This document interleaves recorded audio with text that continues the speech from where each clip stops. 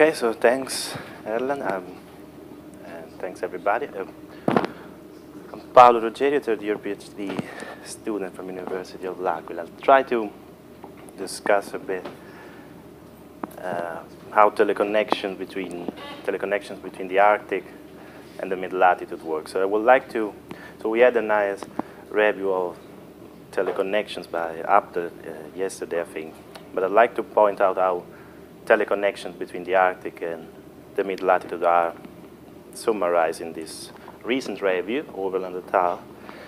So they say that remote forcing, that, that is changes outside the mid-latitude, remote in space and perhaps in times, can influence the mid-latitude circulation through linear and nonlinear atmospheric patterns known as teleconnections. So what I'll try to discuss in this talk is basically how I will focus on ice variability, but how, how high latitude forcing can interact with the mid-latitude atmosphere. I will focus mostly on winter, autumn, winter, and the North Atlantic and Barents Kara sea ice, and I will try to emphasize a bit also the role of the stratosphere. So, um, I'll give a very short introduction, then I will show an experiment from a SPEEDY, as a result from a SPEEDY experiment and then I'll talk a bit perhaps about the uh, simple setup in speed and simple climate experiment that we uh, recently did. So one reason why there's a lot of interest on the Arctic at the moment is that Arctic amplification, that is the rapid warming of the Arctic regions that has been observed recently, has drawn attention on the processes that are going on in the Arctic. So sea ice losses is very important role in the conjecture of the Arctic amplification feedback. But the interaction of the mid-latitude jet with the, in general, with high latitude forcing, so high latitude surf surface fluxes is not well understood, that, and that makes essentially the link with mid-latitude uncertain. So what we, one of the uh, prominent patterns of mid-latitude weather that has been observed associated with Arctic amplification is the warm, the so-called warm Arctic cold continents pattern, which essentially says that when the Arctic is warm, the continents are cold. So it, it can be a proper de definition of the warm Arctic cold continent pattern that probably does not exist yet, but it can be identified in many ways in observation and reanalysis. It it also turns out that if you look simply at the difference between the low-level temperature uh, in late winter uh, in the last decade compared to the rest of ERA-Interim, for example, what you see is a very strong uh, Arctic warming signal with the cooling over the continents. This is true for late winter, but this is, if you look only at December, for example, what you see is a very strong signal over Barents, the Barents and Kara region, which is a region that is being studied a lot at the moment, with probably some cooling over Siberia. Now, one point is that models seems to do not reproduce this pattern associated to uh, surface forcing in the Arctic region. And that is more or less what I try to discuss. It's also worth to point out that there's a lot at least in observations and in analysis, there's a lot of intra-seasonal variability in these recent winters. So it's fair to say that in early winter and in late autumn, the signal is confined in the Arctic mostly. But then the evolution seems to point out that there's some interaction with the mid-latitude. And it happens that in, in these recent years, we also had a very strong and clear signal in the stratosphere seems to point at uh, a warming in the lower stratosphere, essentially. So the reason why we, we need a lot of effort to understand how this connection works is probably that, uh, as has been pointed out again in this recent paper, the interaction is essentially nonlinear and state dependent. The response of the atmosphere to surface forcing in the Arctic is nonlinear state dependent. So somehow we need complexity in models to understand how the interaction works in the real world. So we need, because we need to represent in the model essentially the real state of the atmosphere. So ultimately, we need to use realistic models. But on the other hand, we also need simplicity because uh, state-of-the-art models essentially disagrees. So recently, these authors pointed out that the state-of-the-art AGCMs that were forced with identical CI laws produce significantly different circulation responses. And none of them was able to reproduce the, essentially the negative Arctic oscillation response that has been found by many model, many model experiments. On the other hand, simple models are able to show the weakening and the equator shift of the jet stream that can also be uh, used to understand why the warm Arctic cold continent patterns arises. So uh, one reason why we need complexity is also that many, at this, at this stage, it seems that the community has, has not identified the precise mechanism for this interaction, and essentially all the components that uh, are important for mid-latitude weather seems to be involved. So but the basic idea that I'm trying to simplify and summarize a lot from uh, this paper Cohen et al. is that when you warm the Arctic, essentially you change the equator to pole temperature gradient, but you also induce a direct interaction with a low level and eddy-driven jet.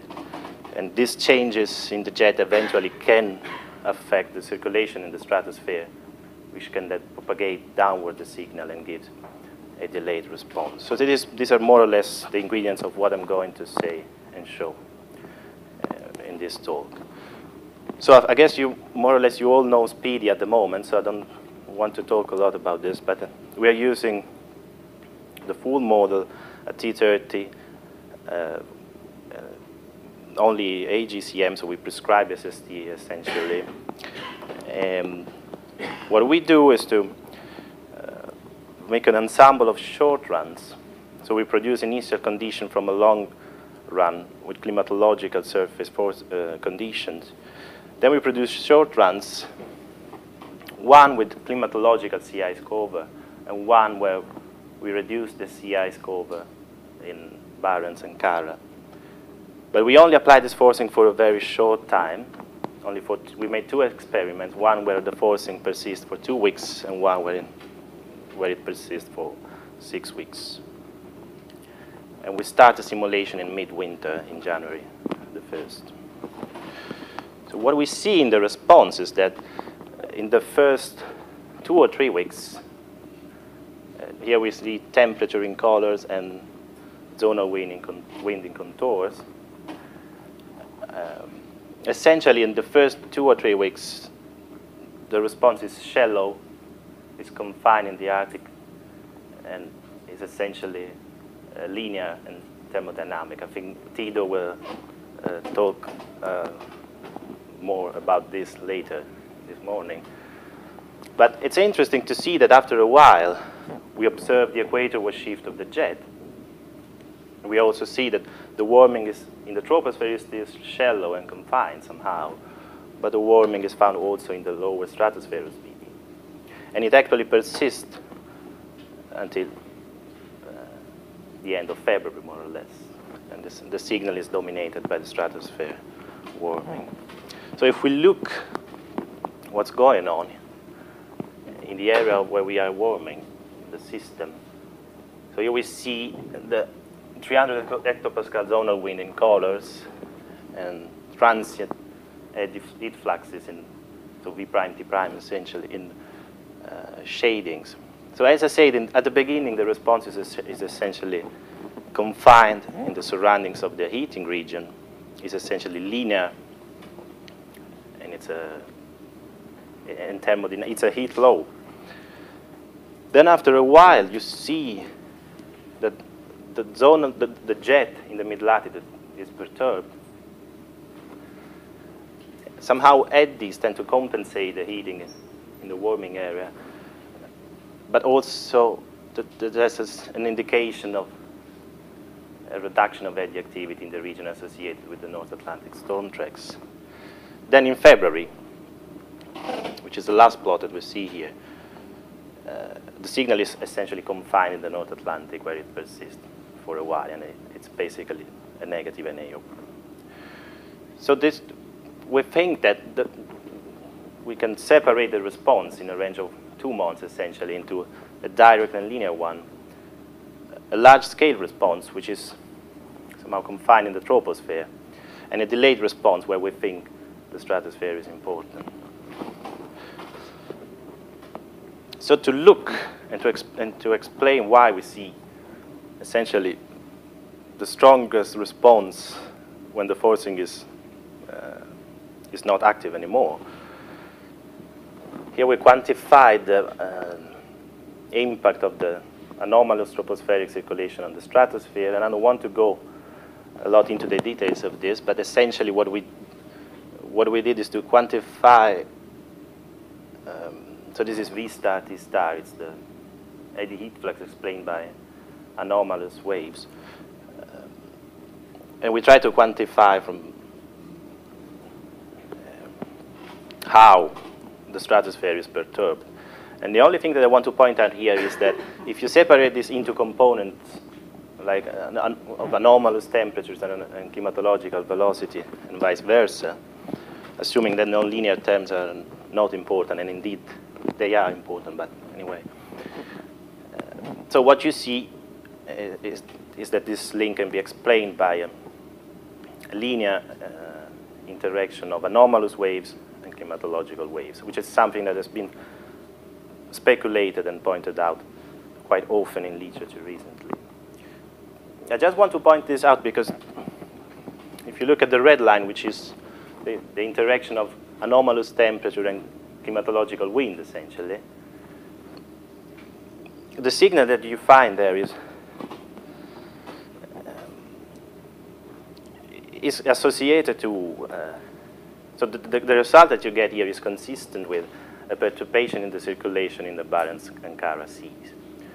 So studies that look at how the, for example, blocking in high latitudes uh, can perturb the stratosphere have also found this result without perturbing sea ice, simply looking at how is the circulation when, uh, when there's a blocking in those regions.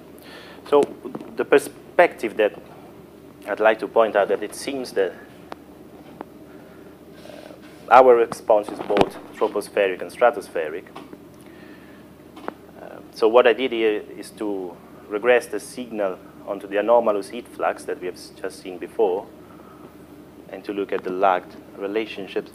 So the dashed line that you see here is essentially the heat flux, while the black line is the uh, geopotential height in the uh, 30 hectopascal, and the blue line is geopotential height in the, trop in the upper troposphere over the North, the North Atlantic, while the red one is over Barents and Kara. So what you see essentially is that as soon as you have a burst of heat flux, the stratosphere is perturbed. But this burst of heat flux is preceded by a signal in the troposphere, which is in the North Atlantic and in Barents and Kara, and which looks like this one. But after a while, you find the signal again in the North Atlantic. So the picture that we get, although we are, we are mixing forced and internal variability, the picture that we get is that if you get this response in your model, then, then you expect to see a perturbation in the stratosphere and also a delayed response afterwards. So the crucial thing here is whether you get this or not, essentially. Because this is a deep response in the, in the troposphere.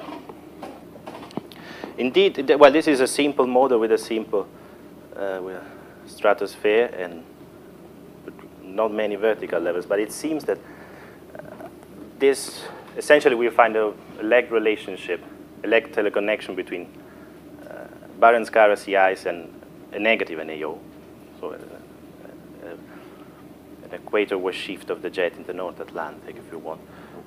It seems that state-of-the-art models are able to reproduce these teleconnections. So these uh, results uh, from a paper written by Javier uh, Garcia Serrano et al. recently, and they looked at CMIP models, and they made a statistical analysis to see whether they can find statistically significant teleconnections between the Arctic and the North Atlantic. And it seems that they find, so what you see here is a collection of these uh, links in these models. And these points here indicate the stratospheric pathway. So it seems that this kind of interaction can explain the connection that is found in state-of-the-art models.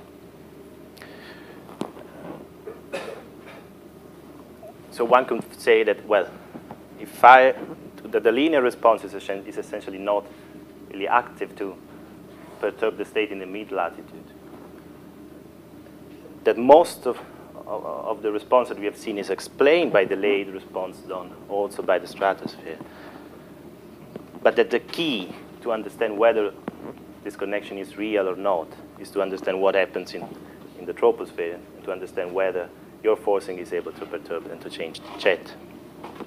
And people are trying to understand this because, as I pointed out previously, it's the, the spread of the response that we get in models seems to indicate clearly that it's hard to uh, determine whether this uh, equatorward shift of the jet in response to sea ice reduction is real or not. And recently, people at the UK Met Office tried to propose a constraint to somehow classify and understand model behavior. So what they did is to, uh, so they, they approached the problem with a, an AMIP-like uh, run, uh, experiment, where they essentially perturb sea ice uh, in the Arctic everywhere almost on the Arctic age, on the ice edge, sorry. Uh, so then they look essentially the atmospheric response to uh, ice loss in a similar way to what we have done with SPEEDY. But what they get, what you see here is the response in the AMIP run, which is, so this is the jet in the no response in the North Atlantic at high latitude, between 50 and 65 or something like that. So what they get is essentially a positive, a weak, a weakly positive NAO response. Interestingly, if they use the, the coupled model, they get a negative NAO response.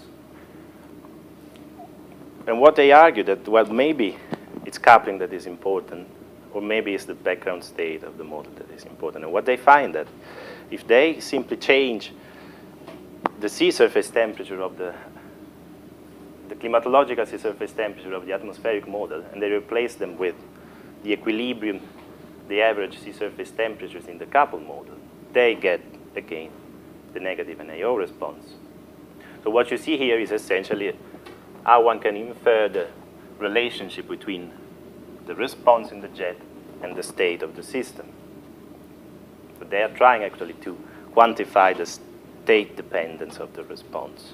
Observations lie here. So one may be tempted to say, well,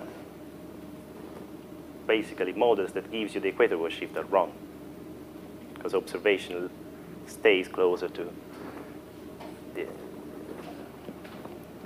to the thermodynamic response, which is small, and it's not an equator shift. But one thing that they have also pointed out in their paper, amongst many, amongst many interesting things, is that it's not really the position of the jet that is important to get that response. It's more how the model propagates waves in the troposphere, essentially. So they look, I don't want to go very much into this uh, plot here, but what they look is is the difference between the climatological refractive index between high latitude and mid latitude. And essentially what they say, well, it's not really the, the relative position of the jet and the forcing that is important. What is important is where the model is able to propagate waves. So if the waves goes, uh, if waves go more equatorward, essentially you won't get this, this response why, what, anyway, what we're trying to do indeed is to try to understand how the position of the uh, of the jet in your system determines the, determines the response to sea ice forcing. So we, we think that these two points of view are not completely independent. They're not completely separated because the preferred propagation, direction of propagation of waves also depends, or at least they are, they are not two independent measures of your, of your system. So, and indeed, if you think about it, so what I'm showing here is just the, the average of the zonal wind from ERA-Interim at 300 and 850. If you think about it, surface forcing comes from many regions at many different latitudes and different longitudes. Some are upstream with respect to the North Atlantic jet, some are downstream, some are far, some are, are in the Pacific. One could argue also that no cover represents an important forcing, which is in the middle of, of the continent. So what we designed an experiment with a simple climate. I think many of you have seen the poster that Emanuele presented on Monday, where he's trying to reproduce the same setup in OpenIFS. Uh, this is also the idealized speedy setup that we have seen before, I think, in the stone track store. So what we do is, so usually, uh, the idea is to introduce a thermal forcing in the system. So we use the dynamical core in aquaplanet coupled to a uh, slab ocean, and we change the Q flux in the slab ocean to warm an area in the mid latitude. And then we perturb the high latitude that introducing small and weaker forcings that should resemble the effect of sea ice loss on the ice edge or warmer sea surface temperatures or uh, any surface forcing. So the system essentially, I think Lenka probably will show some results about this, but essentially it, it, introducing this triangle, we tilt the jet, we perturb the jet, and we create a wave number one structure in the, in the, strat in the troposphere. And one advantage of this is that you get also get rid of the stratospheric signal because there are no, there are, uh, with the triangle we introduce stationary waves, but it turns out that they are not able to interact efficiently with the forcing and to propagate the signal in the stratosphere. So a second advantage of that is that you are not really perturbing the stratosphere, so whatever happens is happening really due to the interaction of the jet. And we repeated similar experiments, a couple of similar experiments. So again, a long run, we skip 20 years just to pick initial conditions from an equilibrated distribution, and then we impose a localized forcing that is something like what we have seen before here. So a forcing in a latitudinal band of 15 degrees more and a longitudinal band of 50 degrees or something. And then we prescribe a forcing which is zonally symmetric, but the, and over the polar cap up to the lower boundary of this localized forcing. So we introduce the same amount of heat into the atmosphere, essentially. And we are studying sensitivity to many aspects, actually I will only show results for longitudinal and meridional position, but we, we have also seen how the magnitude of the heating affects the response, the temporal evolution of the response. And we plan to also to change slightly the climate, the simple climate of our system, maybe using a smaller thermal forcing in the Q flux.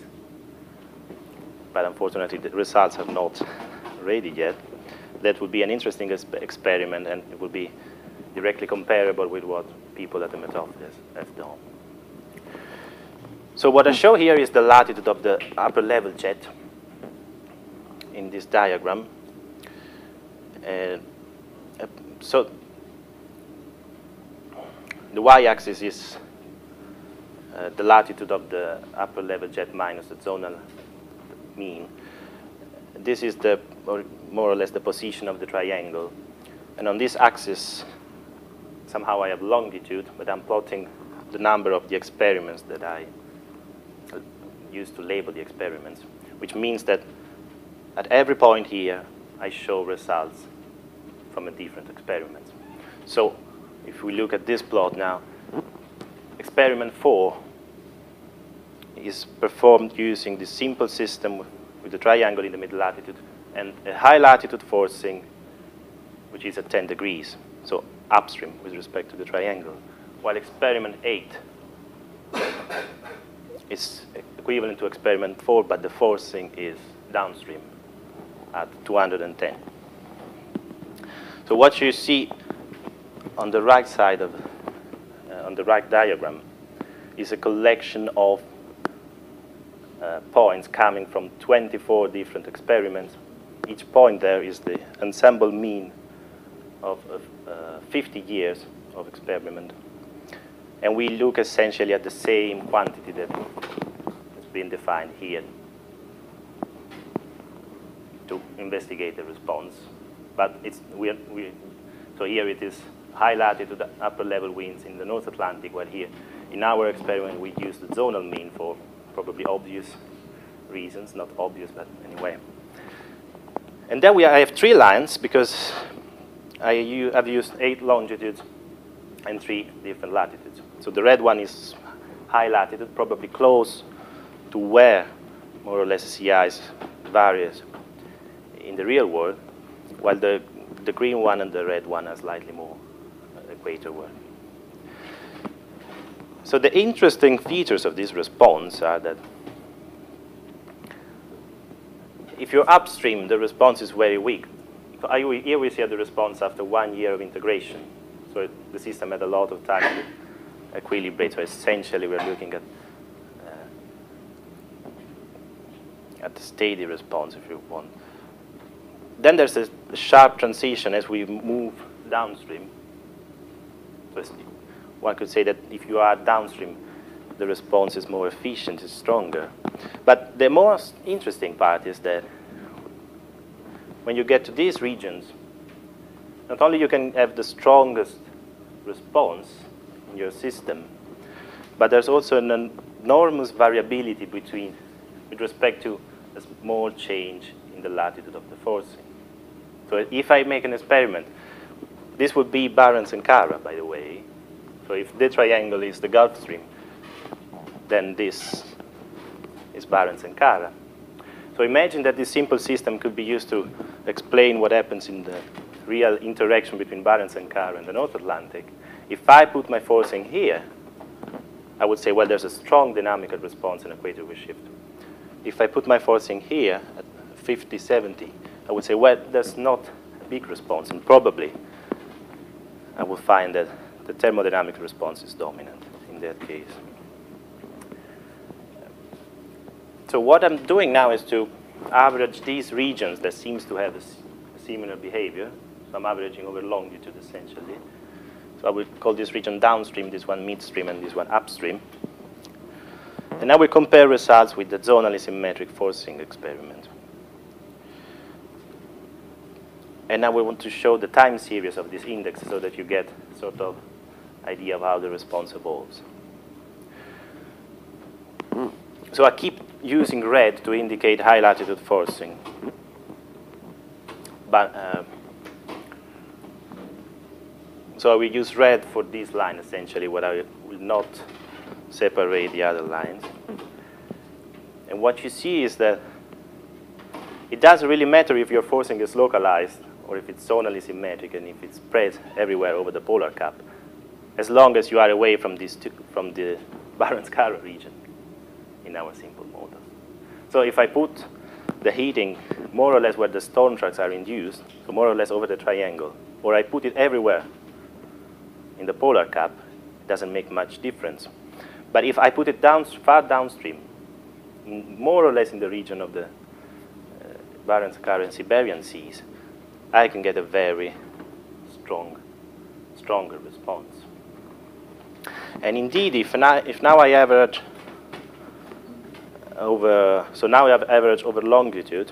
If I average over latitude, the latitude of the forcing, and I look at the equivalent of an, of an Hovmöller diagram, so we have time here and the longitude of the forcing here, and again we look at the response compared to uh, a zonally symmetric forcing, what you get is that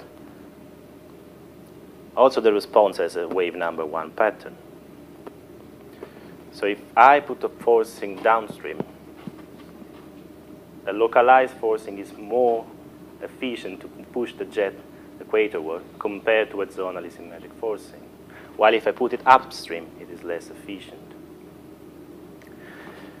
So there are many aspects that still have to be investigated in these experiments, but and of course it's a sample system, and I want to just go back quickly to, to what we are doing. So we, we don't have many ingredients of the system. As Franco also pointed out before, maybe wave number one is not enough to uh, capture all the... You're doing half, half of the work, so Yeah. you think that you have another. Yeah, we could add another piece. We could also add a continent uh, here, maybe to have a, a, a sharp uh, collapse of the jet.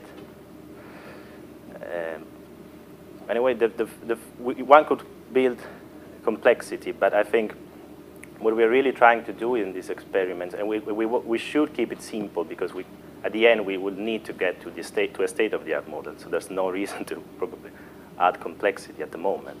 What we're really trying to do is to uh, understand why you can have some, uh, there are some positions that somehow are resonant, and why the, the fact that the response is localized in some areas can give you a stronger, a stronger response. So thinking in terms of a equate, the equator or the equator to pole gradient controlling this is not enough.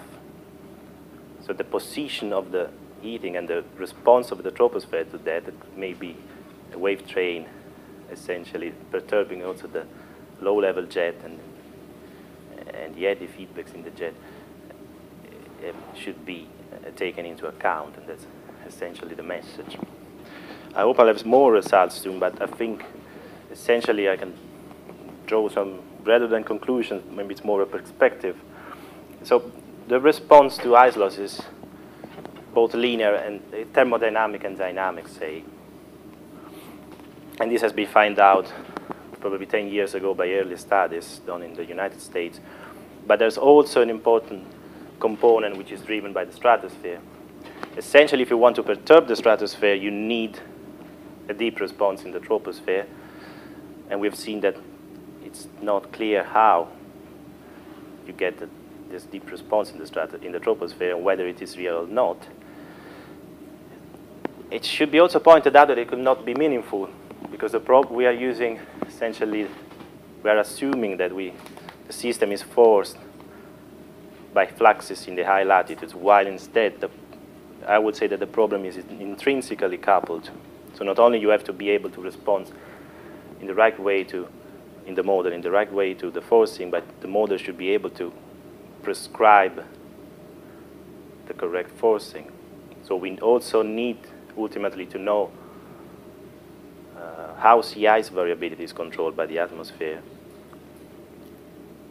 And while it seems that the community is looking forward to doing more the in, uh, intercomparisons and classification of these response in models, understanding processes could be actually also uh, important. And I think I'll stop here and just put yeah, the reference.